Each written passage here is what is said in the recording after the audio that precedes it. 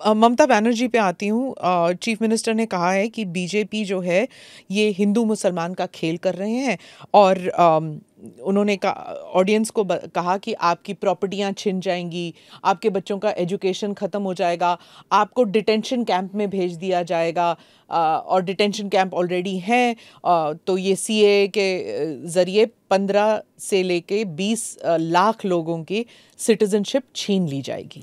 देखिए, मैं ममता जी को करबद्ध निवेदन आपके इस कार्यक्रम के माध्यम से करना चाहता हूँ। पॉलिटिक्स करने के हज़ारों मंच है। प्लीज़ बांग्लादेश से आए हुए बंगालू बंगाली हिंदुओं का हित मत करिए। आप खुद बंगाली हैं। बांग्लादेश से जो बंगाली हिंदू आए हैं इनको नागरिकता देने के लिए एक कानून है। ममता जी को मैं खुली चुनौती देता हूँ इस कानून की धारा में से किसी की नागरिकता छीनने की एक धारा वो बता दे सार्वजनिक रूप से। वो खौफ पैदा कर रही है। हिंदू और मुसलमानों के बीच में विखवाद कराना चाहती है। अपनी वोट बैंक का कंसोलिडेशन करना चाहती है। ममता जी इसको मत रोकिए करने जैसा काम है घुसपैठ रोकिए। नहीं रोक रही है वो वो। नहीं कर रही आप हमें कोऑपरेट नहीं कर रही।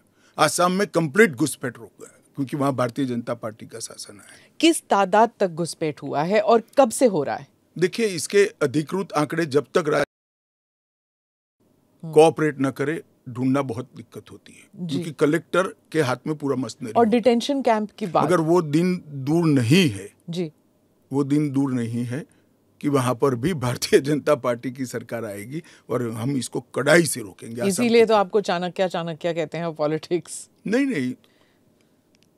मैं मानता हूँ कि अगर इसी प्रकार की पॉलिटिक्स आप करेंगे इतने महत्वपूर्ण राष्ट्रीय सुरक्षा के मुद्दे के साथ एपीसमेंट की पॉलिटिक्स कर कर घुसपैठ होने देंगे जो शरणार्थी आए हैं उनको नागरिकता देने का विरोध करेंगे तो जनता आपके साथ नहीं रहेगी। ममता जी को शरणार्थी और घुसपैठिए दो शब्द के बीच का अंतर ही मालूम नहीं है। मालूम नहीं है या जान के नहीं कर रही? अब मैं तो जो बोलती है वो सच मानता हूँ इसलिए कह रहा हूँ मालूम नहीं।